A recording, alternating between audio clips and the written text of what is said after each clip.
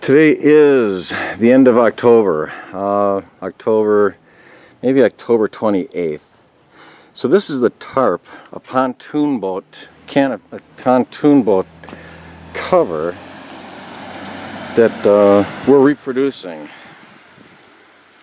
You can see down here, maybe, trying to see through the viewfinder where my foot is. So here's one panel. Up here's another panel third panel over here.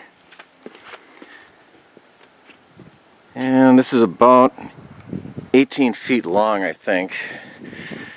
And we've got one, two, three, four panels down the center, a fifth panel at the end right here, a sixth panel over here, and a seventh panel. So in total, we have seven panels and we have to put four holes in the new cover. We're just about done with the new cover. I don't know how well you can see this. Uh, this is, I don't know what it is. It is water resistant. It does feel water resistant. Here's what it looks like on the other side, much cleaner. Obviously this is the inside. And now we'll get a sample of the new material that we're using. And we'll see about comparing it up close. So again, out here under the same light,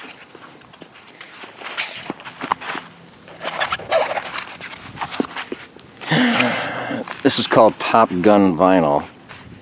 Don't know where it gets its name. This is not cloth, this is vinyl.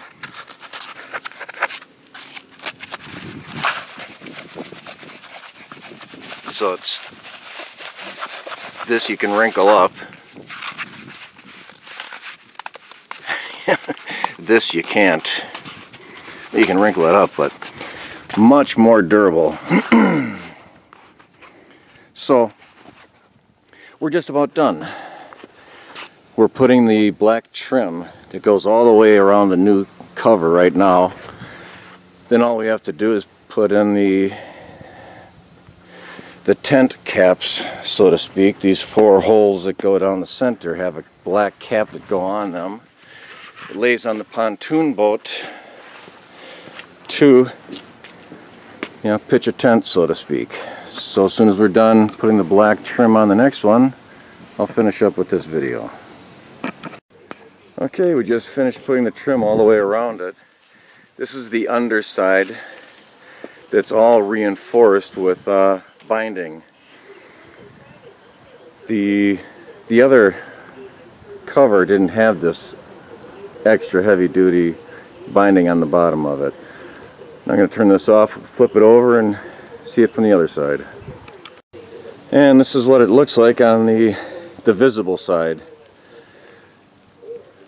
So I'll get in closer and you can see all these seams. They're all so-called invisible seams from this side.